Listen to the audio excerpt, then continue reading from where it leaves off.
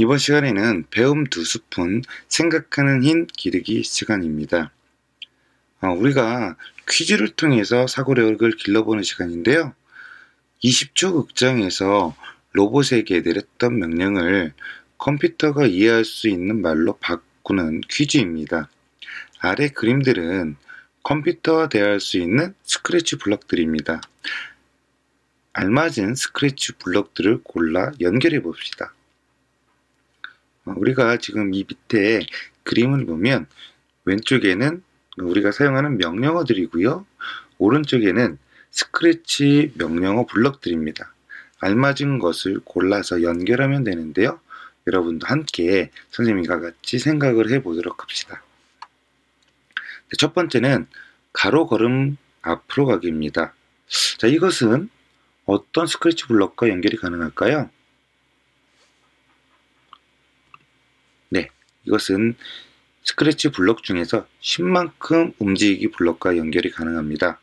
10만큼 아, 움직이기 블럭 앞에 10만큼은 여러분이 원하는 숫자만큼 변경이 가능한데요.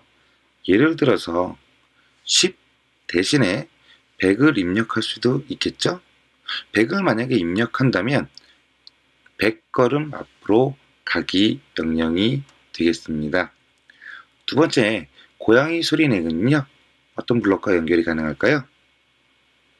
네, 고양이 소리 내기는요. 야옹 재생하기 블록과 연결이 가능하겠네요. 세 번째로 가로라고 말하기 명령은 어떤 블록과 연결이 가능할까요? 네, 첫 번째 있는 뭐뭇을 1초 동안 말하기 블록과 연결이 가능하겠습니다. 이 블록도 다른 블록과 마찬가지로 앞에 빈칸에 여러분이 원하는 단어를 입력할 수 있습니다.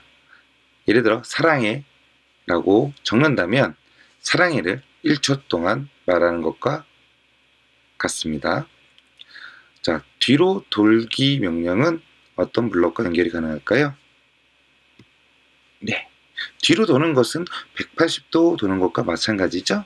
그렇기 때문에 어, 시계 방향으로 180도 돌기 블록과 연결이 가능하겠습니다.